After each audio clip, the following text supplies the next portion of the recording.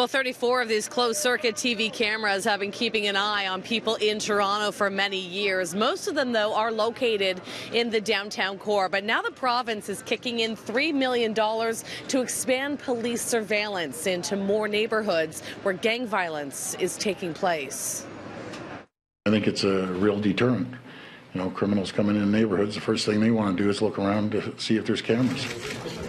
It's a $3 million funding boost from the province that will give Toronto police more eyes on gang activity.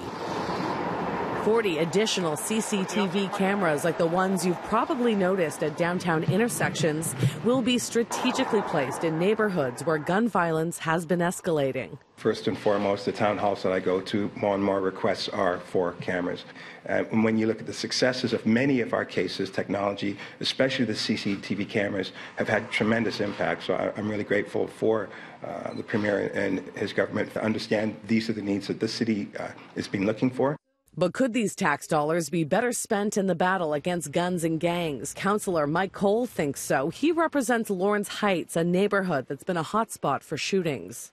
Now, Lawrence Heights, it's like there's uh, two major highways running through the light so that the gun runners uh, and drug dealers just speed away. I want, you know, uh, traffic controls and I want uh, speed bumps uh, and uh, plus I want lights. I don't see what cameras can do with the drive-by shootings to identify people in tinted windows. Do gang members look around for cameras before they use a gun? No, cameras are not a deterrent, not to organized crime or people or gangsters.